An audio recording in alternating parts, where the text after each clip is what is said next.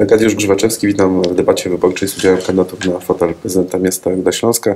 Dzisiaj naszymi Państwa gośćmi są pan Tomasz Piechniczek, e, pan Marek Wesoły, Witam serdecznie. pani Wierzyna Dziedzic, Witam wszystkich. pani Aleksandra Skowronek. Witam serdecznie. E, W tej kolejności rozpocząłem przedstawienie gości, bo w tej kolejności Państwo będą odpowiadali na pytania. Dzisiaj pytania są z dziedzin przedsiębiorczość i rozwój miasta, bezpieczeństwo i finanse miasta. E, No i rozpoczynamy od pierwszego pytania. Czas na udzielenie odpowiedzi dwie minuty. Mm, Jakich narzędzi i środków użyją Państwa, aby ściągnąć do miasta nowych inwestorów? Jakie branże Państwa zdaniem e, mają szansę, aby w mieście się rozwijać? Pan Tomasz Piechniczek. E, Inwestor oczywiście szuka dobrych warunków dla prowadzonej działalności. Takimi warunkami są oczywiście możliwości terenowe. Ruda je posiada. Przypomnę, mamy w Bielszowicach grunt na medal, który lata temu był nagrodzony. Rzeczywiście dobrze skomunikowany z autostradą, natomiast jakoś do dnia dzisiejszego nie udało się mm, pozyskać tam gospodarza tego terenu. Mamy tereny oczywiście przy drogowej trasie średnicowej zagospodarowany z różnym szczęściem. No, tutaj wpływ samorządu y, oczywiście jest umiarkowany, ograniczony, poza tym, że możemy promować, że możemy zachęcać, że możemy stosować zachęty cenowe, co oczywiście y, koliduje z kolei z interesem budżetu miasta. Natomiast y, no, są y, możliwości takie, żeby o tych inwestorów zabiegać. Mamy poza tym bardzo wiele w Rudzie terenów poprzemysłowych, które w mojej ocenie y, z upływem czasu będą uwalniane. Moja dosyć kontrowersyjna teza jest taka, że górnictwo w Polsce skończy się zanim się skończy węgiel. W związku z tym nie wiemy, czy to jest perspektywa lat 5, 15 czy 50, ale prędzej czy później mm, to się stanie, no i wówczas będziemy mieli do wykorzystania. Mam nadzieję, że mm, te tereny oczywiście przypadną w udziale samorządowi, a nie zostaną jakoś y, nieracjonalnie podzielone i, i rozparcelowane. No i będziemy mieli spore całkiem tereny właśnie po naszych y, ludzkich kopalniach. E, W jaki sposób samorząd może zachęcać? Tak jak powiedziałem, e, promocja, y, rozmowy bezpośrednie, taki marketing e, szeptany, e, znajdowanie inwestorów, którzy przede wszystkim stworzą miejsca pracy, tudzież e, wybudują obiekty kubaturowe, bo to one e, przynoszą dochód budżetowi miasta w postaci podatku od nieruchomości. E, Z pozostałych działań to oczywiście Dziękuję bardzo. Czas minął. Pan Marek Wesoły. Myślę, że poprzednik y, dobrze zanalizował sytuację. Rzeczywiście Ruda Śląska mm, ma możliwości pozyskiwania inwestorów poprzez to, że y, jesteśmy w centrum aglomeracji, jesteśmy dobrze skomunikowani. Y, Przez Rudę Śląską przechodzą dwie takie ważniejsze arterie drogowe, czyli autostrada A4 i drogowa trasa średnicowa. Dzisiaj dla inwestorów, patrzę tak też z punktu widzenia swojego, y, jako przedsiębiorcy, jako prezesa dużej spółki, my kiedy wybieraliśmy lokalizację dwa lata temu na swoją firmę, właśnie kierowaliśmy się e, tym dobrym skomunikowaniem, szybkim wyjazdem samochodów, dojściem samochodów do naszej firmy i to Ruda Śląska posiada. Trzeba to wykorzystać, trzeba to e, promować. W- Trzeba też tutaj aktywnej postawy prezydenta spotkanie z biznesem nie tylko ludzkim, ale myślę i uczestnictwo w tych wszystkich spotkaniach, sympozjach, konferencjach, gdzie biznes się spotyka. Otwiera się nam e, nowa możliwość, jeśli chodzi o zagospodarowanie tych terenów poprzez to rozszerzenie strefy ekonomicznej. E, Dzisiaj firmy już mogą starać się o, o te ulgi strefowe w całej Polsce, na każdym terenie. Ruda Śląska nie została bezpośrednio ujęta e, w tym, w tym planie miast, ale na szczęście mamy obok siebie miasta, które nas wciągają w ten, e, w ten program strefowy, więc myślę, że to trzeba wykorzystać. Trzeba tutaj e, przygotować odpowiedni program promocji, jakie mamy tereny, w jaki sposób moglibyśmy te, te, ulgi, jak, te ulgi, jak inwestorzy mogliby u nas wykorzystać. I myślę, że e, trzeba tutaj dużo zrobić, bo to nowy program i nowe, nowe narzędzie, które Ruda Śląska musi wykorzystać i nie możemy obok tego narzędzia przejść obojętnie. Już dzisiaj, już dzisiaj miasta, które nie miały strefy ekonomicznej, aktywnie przygotowują się do tego, aby tego inwestora zachęcać, bo E, Zawsze to jest dodatkowa, dodatkowa, dodatkowa możliwość e, zapłacenia mniejszego podatku i zachęta dla inwestorów, więc e, kumulują się tutaj nam już kilka rzeczy. Dziękuję bardzo. Dziękuję bardzo. Szanowni Państwo, od 8 lat prowadzę bardzo intensywną politykę pozyskiwania y, nowych inwestorów, mamy szybką ścieżkę wspierania inwestorów, którzy chcą trafić do miasta. Również uczestniczę we wszystkich możliwych konferencjach, gdzie mogę się spotkać z inwestorami. Stąd muszę powiedzieć, że wszystkie tereny koło NSK, DTŚ są sprzedane Również sprzedany jest teren na medal, znalazł swojego właściciela. W chwili obecnej dużymi już terenami nie, in, nie dysponujemy, ale mamy też już podpisane ugody z górnictwem, bo ja bym tak czarnogórnictwa nie widziała, choć węgiel jest czarny. Natomiast w tej chwili jest bardzo dużo terenów, które spółka restrukturyzacji kopalń chce oddać i jesteśmy na bieżąco z prezesami i przekazują nam kolejne tereny Również pod inwestycje jestem najbardziej zainteresowana terenem po, przy Polskie Wirek, bo tam jeszcze są również nasze tereny i byłby tam właśnie ciekawy pomysł tworzenia strefy ekonomicznej. Jeżeli chodzi, co w tej chwili jest ważne dla mieszkańców, bo my wsłuchujemy się w głos mieszkańców, to właśnie tereny pod małe i średnie przedsiębiorstwa. One są bardzo ważne, bo to są przedsiębiorstwa, które bardzo szybko potrafią się przekształcić i zmienić zmienić profil, a w tej chwili jest to bardzo ważne. Ulgi mamy bardzo duże dla dużych, średnich, małych przedsiębiorstw. Nasze firmy korzystają z tego. Bardzo często się z przedsiębiorcami spotykam, bo uważam, że pozyskiwanie środków do budżetu jest ważne. W chwili obecnej ma się przenieść główny na południową Polskę y, Mercedes koło trasy y, koło autostrady A4 i jestem z tego bardzo dumna i również z tego, że wiele firm zewnętrznych przychodzi do Rudy Śląskiej Dziękuję z innych bardzo. miast. Pani Aleksandra Skowronek? Oczywiście zgadzam się, że jesteśmy bardzo atrakcyjni pod względem komunikacji, jeśli chodzi o przygotowanie. Natomiast y, trochę nam jeszcze brakuje, żeby ten inwestor czuł się tutaj bardzo dobrze w naszym mieście. Inwestor osiądzie u nas, inwestor zainwestuje, jeżeli będzie wiedział, że tutaj w tym mieście będzie miał wszystko. Myślę tutaj również o zapleczu socjalnym, czyli y, miejsce do rekreacji, miejsce do, do nauki dla swoich dzieci i y, przede wszystkim pracownik, tak. Tu y, inwestor musi mieć pewność, że to miasto, miasto Ruda Śląska, będzie zainteresowane tym, żeby szkolić mu pracowników. Wiemy wszyscy, że Teraz na rynku pracy jest problem z pracownikami wykwalifikowanymi. Także uważam, że jeszcze musimy trochę popracować nad tym, żeby ten inwestor czuł się bardzo dobrze w naszym, naszym mieście i żeby tutaj osiadł. Powinniśmy też wprowadzić taki system poręczeniowo-kredytowy, I tutaj jest też duża rola miasta, żeby wspomóc y, takie instytucje, które tym się zajmują. Na przykład taki Fundusz Górnośląski w Katowicach w tej chwili pozyskał nowy produkt w postaci y, projektu Silesia 2020 i tam y, w tym projekcie Silesia 2020 są dawane kredyty preferencyjne przedsiębiorcom i te kredyty, preferencyjne są oprocentowane pół procentem, czyli bardzo y, korzystna kwota dla, dla danego przedsiębiorcy. My mamy na terenie naszego miasta Śląski Park Przemysłowy, RAR Inwestor. To są, to są podmioty, które powinny wspierać inwestorów i ściągać inwestorów również do miasta. Śląski Park Przemysłowy no niestety ma stratę, trochę nie działa w tym kierunku, w którym powinien. Ja myślałam, że się pojawią start-upy tutaj, a tego nie ma, prawda, w Rudzie Śląskiej.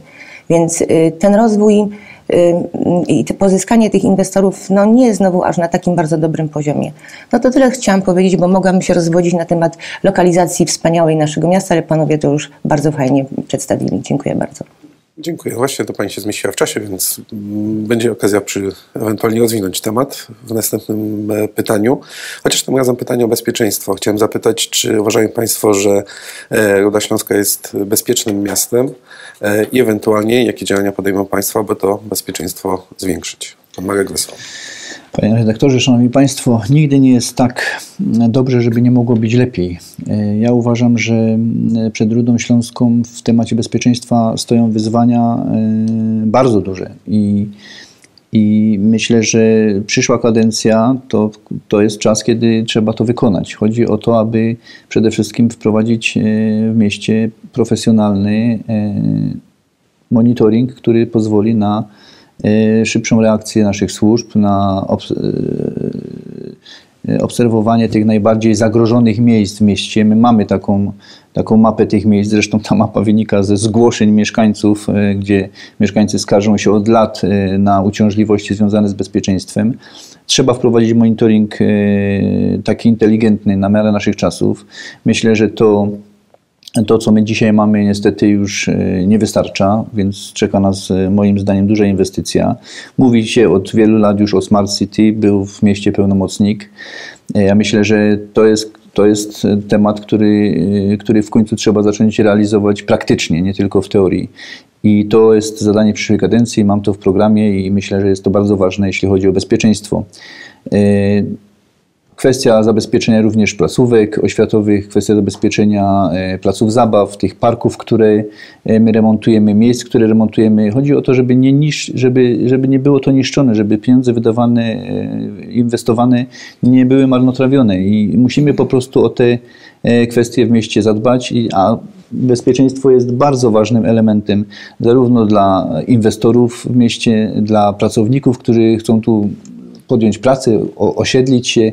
Myślę, że to jest taka, taki element, który jest e, dzisiaj już nieodzowny, jeśli chodzi o możliwość e, ściągania do nas mieszkańców i inwestorów. Dziękuję bardzo. Pani Karzena Dziedzic. Szanowni Państwo, od 8 lat e, staram się dbać o bezpieczeństwo naszego miasta i muszę powiedzieć, że miasto nasze Ruda Śląska jest jednym z najbardziej bezpiecznych śląskich miast. Oczywiście zgadzam się, że trzeba ciągle to bezpieczeństwo zwiększać i staram się cały czas to robić, zwiększając również patrole policji, e, szkoły policyjnej, bo takie bezpośrednie kontakty są bardzo ważne. Od początku też kadencji zaczęłam budować y, system monitoringu. Wszystkie obiekty, które są wyremontowane, są monitorowane. Ale też, jak tu mój poprzednik powiedział, przygotowaliśmy dokumenty strategiczne, żeby wprowadzić tak zwane smart city, czyli inteligentne miasto. Dokument jest przygotowany, jest kosztorysowany i powoli go będziemy wprowadzać. Ze względu chociażby na to, żeby, tak jak już wcześniej mówiłam, y, można było stwierdzić, gdzie tak naprawdę jest wydarzenie, które trzeba zabezpieczyć wspólnie często z policją. Wszystkie szkoły również posiadają monitoring, bo bezpieczeństwo dzieci zawsze będzie dla mnie najważniejsze. Wprowadzamy też karty chipowe do przedszkoli, żeby rodzice również wiedzieli, czy dziecko na pewno jest w tym przedszkolu, ale ma to jeszcze drugi aspekt, żeby płacili za konkretne godziny przebywania dziecko dziecka w przed, e, przedszkolu. No i oświetlenie inteligentne w miejscach, gdzie nie musi cały czas świecić lampy, nie muszą cały czas świecić lampy, tylko wraz z ruchem włączają się kolejne oświetlenie. Jest to wtedy oszczędne oświetlenie i w tym kierunku idziemy. Dziękuję bardzo. Dziękuję. E, ja przygotowując się do dzisiejszej debaty, zdiagnozowałam sobie nasze zagrożenia i mamy następujące zagrożenia. Zagrożenie chuligaństwem, wandalizmem. Tak przy okazji pozdrawiam tych, którzy moje billboardy, banery tną i rzucają plakaty. E, nie powinno się tego robić. Kultura tego wymaga, żeby pozostawić coś, co jest własnością innej osoby. Zagrożenie działalnością grup przestępczych, zagrożenie narkomanią, alkoholizmem, przemocą w rodzinie, zagrożenie komunikacyjne i powodziowe. E, dodatkowe patrole policji e, są wprowadzone niedawno, bo od 2010 do 2015 nikt sobie nie przypomina, żeby te patrole były. Poprzednio były, bo to nie jest duży koszt dla, e, miast, dla miasta. To jest koszt w granicach 70-90 tysięcy, takie dodatkowe patrole policji. Jest bardzo dobrze, że to już jest w tej chwili, bo jest to trochę, trochę bezpieczniej niż, niż bez patroli. Natomiast mamy takie duże zagrożenie powodziowe też w naszym mieście, które no jest taką przysłowiową stroną wokół. E, nie, z, y, nie zrealizowano inwestycji, które miały być zrealizowane, mianowicie zakup e, y, zestawu pompowego. Taki zestaw pompowy w przypadku powodzi jest bardzo potrzebny. E, my korzystamy z zestawu z kopalni. Zanim ten zestaw dojedzie, no to niestety jest problem, tak? Mm, pieniądze na zestaw y, pompowy zostały przeznaczone na łódź y, ratowniczą dla y, Państwowej Służby Powodziowej, ratownictwa. I wydaje mi się, że to taki akurat niepoważny wydatek był, ponieważ my nie mamy otwartych wód, tak? mamy wody zamknięte, więc ta łódź, która została kupiona przez nasze pieniądze, na pewno służy innym, natomiast na pewno nie nam. Nie zrobiono wałów przeciwpowodziowych, nie wymulono koryta, kochówki. No jest dużo takich tematów, które, nad którymi należy się pochylić i które należy zdiagnozować, do jakiego, do jakiego poziomu są to trudne rzeczy.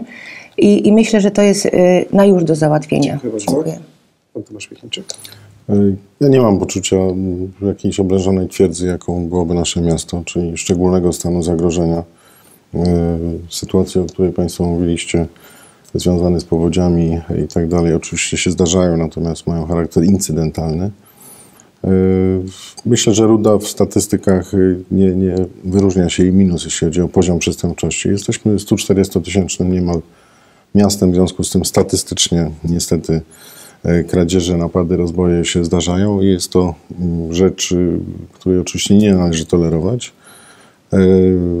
Jednym z naszych postulatów jest pozornie działanie, które miałoby poziom bezpieczeństwa obniżyć, mianowicie likwidacja Straży Miejskiej w dotychczasowej formule. My myślimy o tym, żeby ze Straży Miejskiej uczynić służbę, która zapewnia bezpieczeństwo przede wszystkim Urzędu Miasta, gdzie są i pracownicy i, i, i, przede wszystkim też pieniądze w kasie.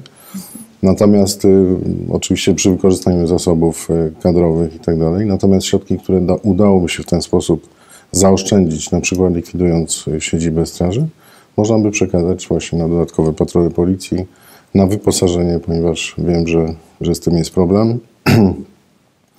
Województwo Śląskie od lat wspiera garnizon katowicki, wojewódzki, natomiast do Rudy jakoś te, te samochody nie potrafiły do tej pory dojechać. Wiem, że policja potrzebuje na przykład samochodu terenowego, który mogłaby patrolować obszary leśne, tereny poprzemysłowe, więc to są tego typu potrzeby. Zgadzam się, że monitoring jest potrzebny, pewnie w newralgicznych punktach miasta, czyli tam, gdzie statystyki mówią o określonych zdarzeniach, natomiast nie wiem, czy, czy musimy rzeczywiście żyć w Matrixie i być wszędzie i, i stale pod obserwacją kamer. Jak mówiłem o bezpieczeństwie, to mam takie skojarzenie z bezpieczeństwem ekologicznym, bo, bo to jest duży problem w mieście. Dziękuję bardzo. Dwie minuty minęły. Tym razem pani Grażyna Dziedzic rozpocznie. Dwa pytania tym razem z finansów, ale nie będę pytać o kredyty, nie będę pytać o inwestycje.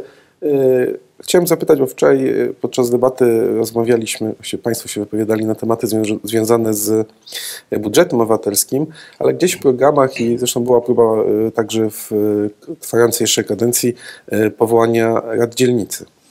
Chciałem zapytać, czy te rady dzielnicy są potrzebne, czy powstaną w ciągu tej kadencji, która się zbliża, jakie powinny mieć kompetencje, czy będą miały swoje budżety? I to właśnie jest to nawiązanie do finansów, no i czy właśnie będą też ci przedstawiciele mogli decydować o wydatkach w danej dzielnicy.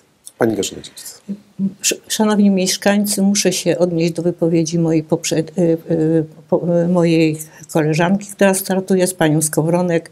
Muszę pani zapewnić, że wszystkie pompy, jakie powinny być zamontowane w chwili obecnej, są trwają prace nad regulacją kochówki jest systematycznie przez górnictwo pogłębiana, a to jest właśnie dowód na naszej, naszej dobrej współpracy z górnictwem. Systematycznie się z nimi spotykamy na tak zwanych y, spotkaniach y, w kopalniach, w zależności, tak zespoły porozumiewawcze to się nazywa i my tutaj wspólnie działamy, bo wiadomo, że szkodnikiem w cudzysłowie jest górnictwo, które powoduje, że jest podwyższenie grunt, grunt, gruntowych i one właśnie często nas zalewały.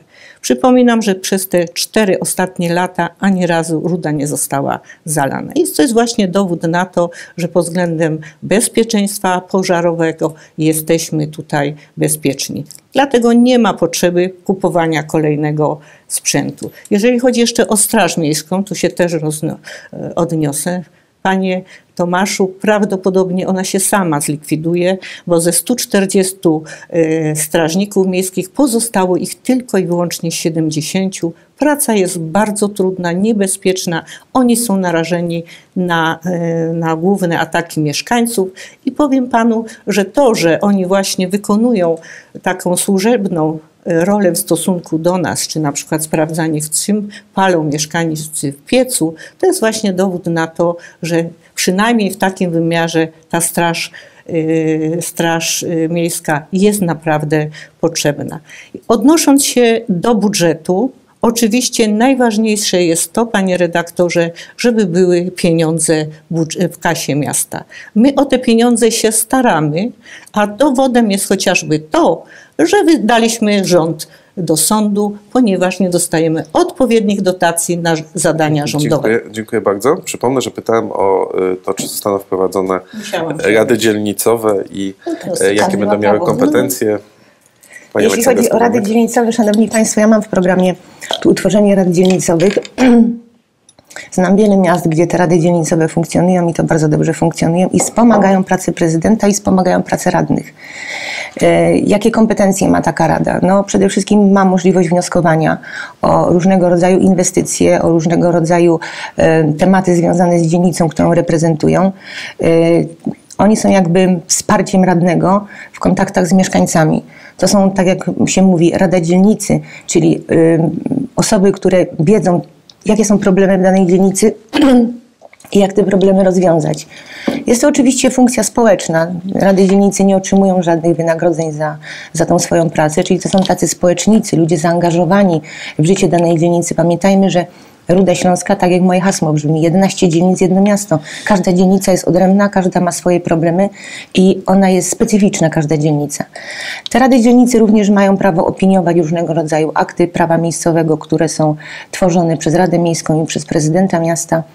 E, one mają prawo opiniować różnego rodzaju inwestycje, które są realizowane przez miasto w danej dzielnicy, ale przede wszystkim Rada Dzielnicy to taki łącznik pomiędzy mieszkańcami a prezydentem i gdzieś w tym wszystkim jest ten radny, który wszystkiego nie jest w stanie opanować. Nie zawsze jest tak, że w dzielnicy jest radny, który jest w stanie ogarnąć dzielnicę. Halemba jest dużą dzielnicą. Jeżeli jest tam jeden, dwóch radnych, nie są w stanie opanować problemów, które się tam dzieją. A z biurka prezydent miasta niestety, ale wszystkiego nie widzi. Dziękuję bardzo. Dziękuję bardzo. Pan Tomasz Michniczek. Jedno zdanie odnośnie Straży Miejskiej. Oczywiście czas minął poprzednim razem. Y, nasza idea likwidacji tej formacji jest spowodowana wyłącznie tym, że kompetencje Straży Gminnych y, są znacznie mniejsze od kompetencji y, policji. To wynika oczywiście z ustawy. Także tu nie ma kwestii personalnych czy jakichś tam innych ukrytych zakulisowych. Wracam do rad dzielnic. Śląska Partia Regionalna jest oczywiście orędownikiem budowy społeczeństwa obywatelskiego. Uważamy, że kompetencje przekazywane e, na niższe szczeble organizacji społeczeństwa są, są e, takie działanie jest jak najbardziej celowe, potrzebne. Oczywiście też zgadzam się, że mm, nie mówimy to o utworzeniu instytucji czy, czy formacji, która miałaby mieć swoje siedziby, etaty, budżety i tak. Natomiast chodzi oczywiście o, o kwestię opiniowania, doradztwa, konsultacji, czyli tego, co w normalnym, zdrowym społeczeństwie obywatelskim e, się dokonuje. E, zgadzam się, że mm, obszarowo nasze dzielnice są na tyle duże, że radny, który jest wybrany w okręgu wyborczym, e, często w swoim życiu nie odwiedza nawet ulic zlokalizowanych gdzieś tam w drugiej części dzielnicy i, i to jest właśnie przyczyną i powodem naszego pomysłu powołania rad dzielnic. Mamy to wpisane w naszym programie. Dziękuję bardzo. Pan Marek Wesoło. E, słowo dotyczące Straży Miejskiej, jak już wszyscy się odnieśli, e, nie jestem zwolennikiem jej likwidacji, wręcz przeciwnie. Uważam, że tylko powinniśmy zmienić delikatnie profil. Rzeczywiście Straż Miejska nie powinna się zajmować kompetencjami, które posiada policja, ale miasto będzie miało coraz więcej tych pól, gdzie ta Straż Miejska będzie nam potrzebna, żeby egzekwować pewne E, przepisy, które wprowadzamy, e, porządek, który chcemy w mieście wprowadzić. Musi to, tego ktoś dopilnować i e, Straż Miejska będzie nam potrzebna i delikatnie trzeba ją przemodelować, przeprofilować i myślę, że będzie to funkcjonowało. Jeśli chodzi o kwestie związane z radami dzielnic, nie mam w swoim programie utworzenia rad dzielnic. Z mojej wiedzy te, te rady dzielnicy w zależności od miasta i od aktywności działają lepiej lub gorzej. E, uważam, że powinniśmy tutaj bardziej aktywować kwestię związaną z radnymi. E, to nie jest tak, że jest jeden radny w dzielnicy, bo proszę popatrzeć, ilu radnych wybieramy w poszczególnych okręgach. E, tylko należy pomyśleć o tym, że ci radni nie są z poszczególnych ugrupowań. Ci radni to jest u mnie, u, u mnie, w okręgu jest ośmiu radnych, oni powinni działać razem, powinni mieć stworzone warunki. Dołączmy do tego radnych Rady Seniorów, radnych Rady Młodzieżowej i spróbujmy stworzyć w tych dzielnicach, w tych okręgach takie komórki, które będą funkcjonować na tych wszystkich płaszczyznach. Oczywiście do tego ci radni, przypuszczam, że sobie dobiorą tych społeczników, gdzieś tam będą z nimi współpracować i z tego tak naturalnie się wytworzy e, taka Rada Dzielnicy. Utworzenie sztucznej Rady Dzielnicy, powołanie, moim zdaniem niekoniecznie musi się sprawdzić.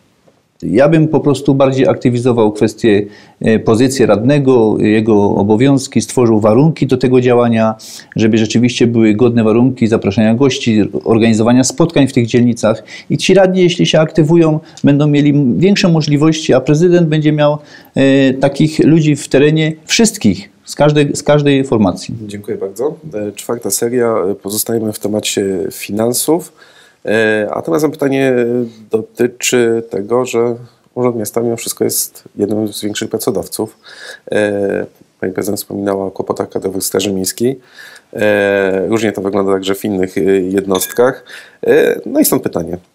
Czy w najbliższej kadencji w takich jednostkach jak Urząd Miasta, MOPS, MOSIR są możliwe i w jakim czasie nastąpią podwyżki dla pracowników? E, Już odpowiadam, ale pozwoli Pan, że odniosę się jeszcze do słów Pana Marka. Panie Marku, to bardzo fajne, co Pan powiedział, ale to jest takie bardzo idealistyczne. Od jakiego czasu samorząd funkcjonuje? Od jakiego czasu funkcjonują radni, y, rady senioralne? I tego, tego się nie da zrobić tak. Oczywiście zgadzam się, że radni powinni działać ponad podziałami i zajmować się tematem i miastem, no ale życie pokazuje, że niestety wygląda to zupełnie inaczej. I takie rady dzielnicy myślę, że, że wspomogą. E, wracając do pytania pana redaktora, e, nie wiem, jaki jest przedział kwotowy wynagrodzeń pracowników w Urzędzie Miejskim czy w innych jednostkach, które podlegają Urzędowi Miejskiemu. Ja wiem tylko o jednej rzeczy, że e, w mieście jest pewien problem związany z najniższą krajową w mieście jest problem związany z tym, że nowy pracownik, który przychodzi do pracodawcy, otrzymuje tą najniższą krajową i dodatkowo dodatki, które mu przysługują, czyli leci mu wysługa lat i tak dalej, i tak. Natomiast starsi pracownicy, którzy pracują w naszych jednostkach, mają do tej y, najniższej krajowej wliczony już ten dodatek. Czyli oni są jakby do tyłu o te pochodne, które są dodatkowe do wynagrodzenia. I to należałoby zmienić. Nie wiem, jakie są dysproporcje, y, jeśli chodzi o płace. Jak ja odchodziłam z Urzędu Miejskiego, to wynagrodzenia pracowników urzędu były godziwe, tak bym powiedziała. Y, natomiast w tej chwili no, nie jestem w stanie się odnieść i nie jestem też w stanie powiedzieć, czy ze względu na to, że nie wiem, jakie są wynagrodzenia, czy podwyżki są konieczne. Podwyżki zawsze są konieczne, umówmy się w ten sposób, bo nikt nie powie, że zarabia wystarczająco ale trzeba na to spojrzeć po gospodarsku. Dziękuję bardzo. Dziękuję. Tomasz Piechniczek. No przede wszystkim y, kwestie zarobków pracowników samorządowych określa ustawa. W związku z tym tutaj y, są widełki, są reguły, są prawidła i nie ma sensu urządzać festiwalu obietnic i licytować się, kto da więcej, prawda? Ja uważam, a mam doświadczenie pracy w urzędzie chorzowskim 16-letnie, w zarządzaniu własną firmą 20-letnie ponad i zawsze jestem e, zwolennikiem teorii, że e, tą samą pracę powinno wykonywać mniej ludzi, którzy będą lepiej wynagradzani. Nie mówię oczywiście o jakichś e, masowych zwolnieniach, redukcjach itd. Tak Natomiast wczoraj w debacie zapowiedziałem audyt właściwie wszystkich obszarów miasta, analizę tego, jaki jest stan obecny. No i będę chciał się też przyjrzeć temu, mm, ile osób jest zatrudnionych, jaką pracę wykonują być może w sposób naturalny osoby, które odchodzą na emeryturę, które, y, którym przysługują świadczenia przedemerytalne, które mm, zmieniają pracę, szukając swojego miejsca e, w życiu lepszego, e, być może uwolnią po prostu miejsca pracy i wówczas y, będę się starał, żeby nie przyjmować nowych osób, natomiast podzielić obowiązki pomiędzy pozostałych pracowników, przekazując też im wynagrodzenia. Dziękuję bardzo. Pan Mariusz Wesoło.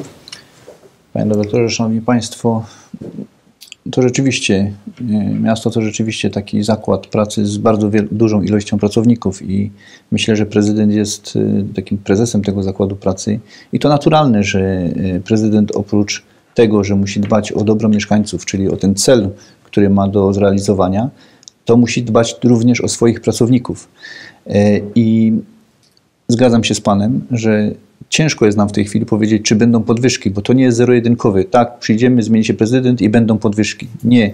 Zrobimy, Mamy kampanię wyborczą. zrobimy, Ja zrobimy, czekałem, aż ktoś metro wybuduje Śląskiej. Zrobimy analizę oczywiście, ale ja jestem zwolennikiem tego, aby praca była godnie wynagradzana. Jeśli e, da się to zrobić, jeśli budżet to udźwignie, to będziemy te, te płace podwyższać również w Urzędzie Miasta. Nie mówiąc już o niektórych spółkach, bo tam nas też czekają wyzwania, na przykład szpital miejski, no tam trzeba będzie robić reformy, szukać tych pieniędzy, bo tam rzeczywiście mamy kłopot z tymi wynagrodzeniami duży i, i tutaj trzeba będzie ten, ten temat e, udźwignąć.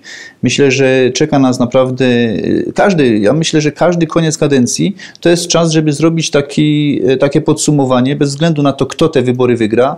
Nowy prezydent musi czy obecny, jeśli wygra, musi zrobić podsumowanie, musi zrobić takie rezime tego, co się wydarzyło i musi przygotować nowy plan, bo ma nowych e, ludzi do współpracy, jest nowa rada, są, jest nowe otwarcie, więc trzeba dokonać takiego, takie, takiej analizy, trzeba dokonać tego audytu i zastanowić się, co można poprawić, co można zmienić i ja sobie inaczej tej, tego, tej, tego początka kadencji w moim przypadku, gdybym wygrał wybory, nie wyobrażam, bo trzeba również e, powiedzieć swoim pracownikom, jaki mam plan na następne e, 4 lata.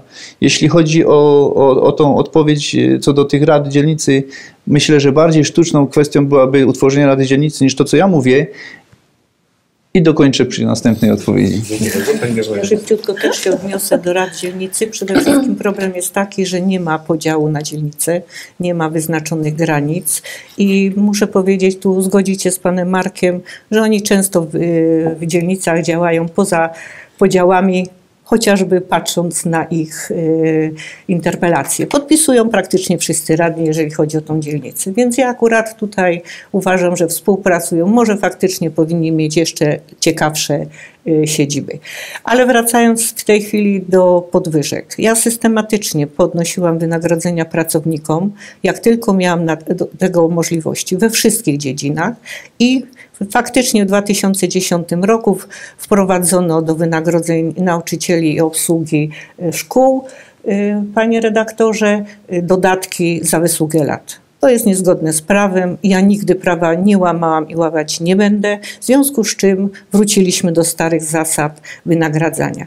Gdyby jednak subwencja oświatowa na szkoły wynosiła tyle, ile powinna, a powinna wynosić 100% na wynagrodzenie nauczycieli, wynosi 50%, byłoby łatwiej. Jeżeli chodzi o szpitale, to minister zdrowia podpisał ustawę o wynagrodzeniach dla y, y, służby zdrowia i do tygodnia będzie podpisana z Narodowym Funduszem Śląskim umowa o środki na właśnie na te podwyżki. W związku z czym w służbie zdrowia się bardzo zmienia i to właśnie dzięki obecnemu ministrowi y, służby zdrowia, który właśnie takie rozporządzenie wprowadził. Jest to godne wynagrodzenie i wyniesie w skali naszego miasta około 10 milionów złotych. A poza tym szpital pozyskał następne środki, 800 tysięcy zwiększył się kontrakt na następne półrocze i mamy szansę na wygranie kolejnych konkursów, bo gdzie startujemy, w którymkolwiek konkursie w służbie zdrowia zawsze wygrywamy. Dziękuję bardzo. E, No i cóż, dotarliśmy prawie że do szczęśliwego końca. Ja już teraz dziękuję Państwu za to, że znaleźli e, czas na odwiedzenie naszego studia, na udział w debacie w Miejskim Centrum Kultury. No i ostatnie dwie minuty kampanii wyborczej w tym gronie e, przed niedzielą. Pan Tomasz Piechniczek.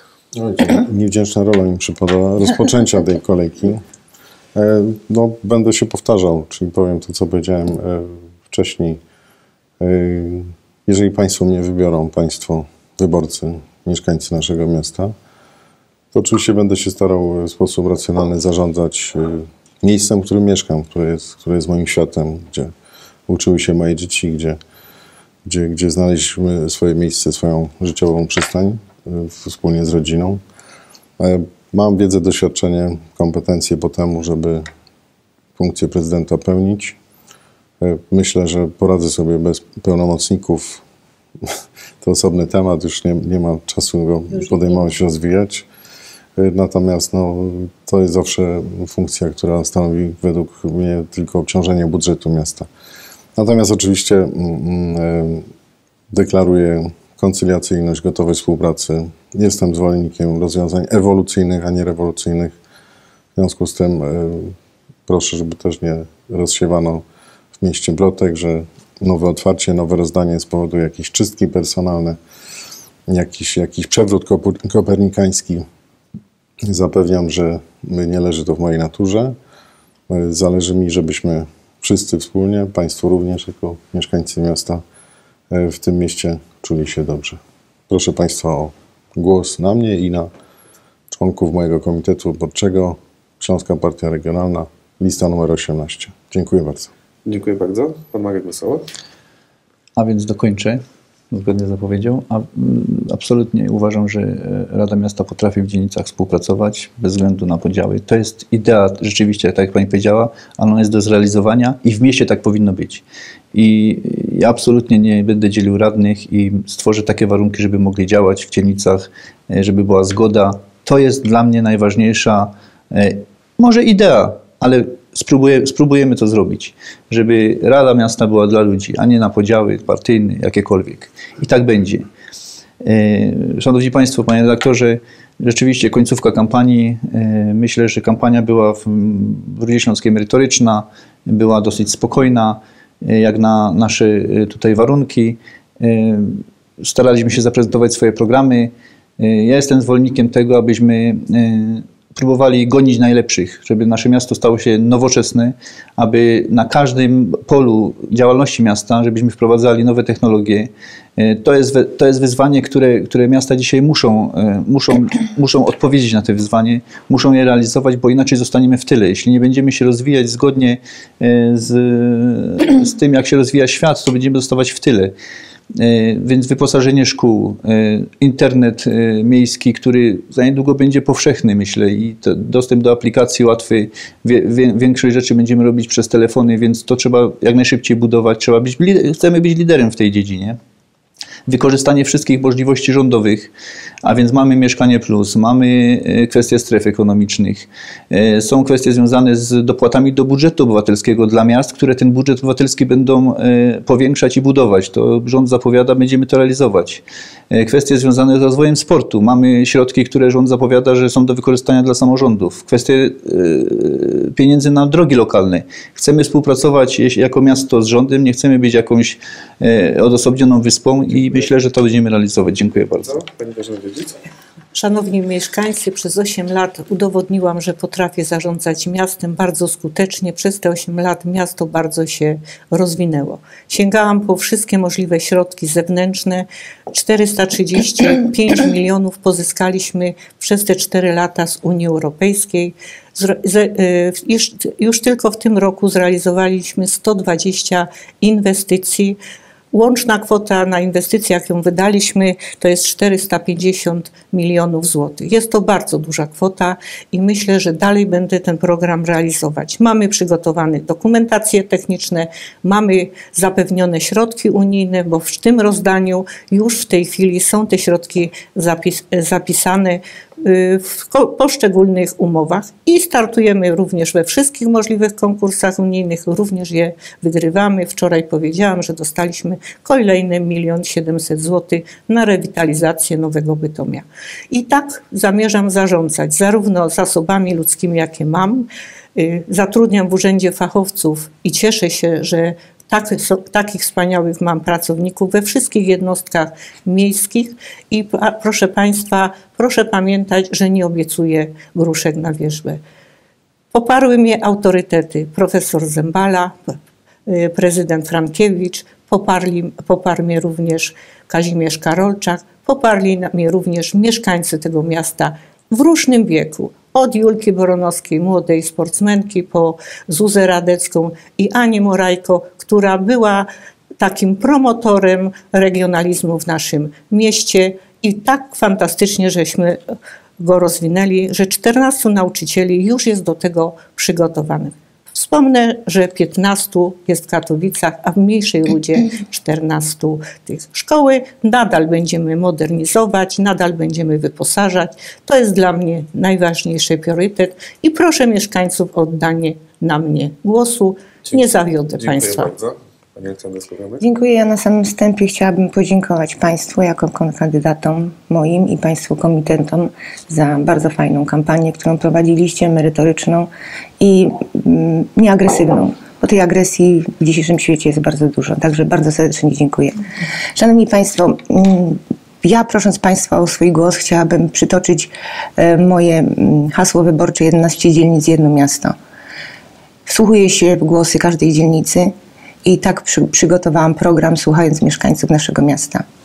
Do głównego programu dla mieszkańców Rudy Śląskiej w całości to budowa mieszkań komunalnych i socjalnych, podłączenie budynków do nitki ciepłowniczej, inwestycje w sport, czyli budowa boiska z, ze sztuczną nawierzchnią i z trybuną na terenach Slawii, budowa rekreacyjnych y, obiektów, również na Slawii, baseny otwarte, y, tereny rekreacyjne w parkach.